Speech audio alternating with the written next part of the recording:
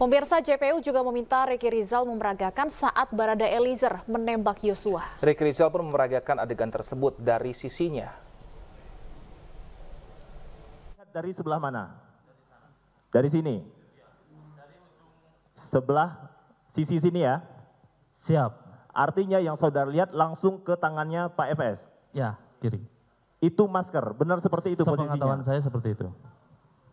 Untuk tangan satu lagi saudara melihat tidak? Tidak lihat dong Pak, kan saya hanya bisa lihat satu Tertutup. sisi. Satu sisi saja. Satu sisi. Siap.